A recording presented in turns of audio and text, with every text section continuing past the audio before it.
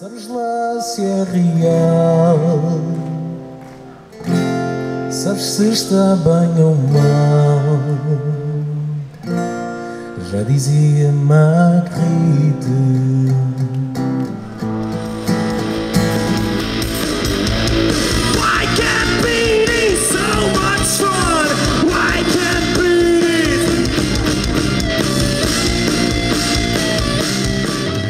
Este é um festival para os marcoenses e dos marcoenses. Logicamente que todos os que vêm dos municípios eh, aqui à volta são bem-vindos ao nosso Festival da Juventude 2023.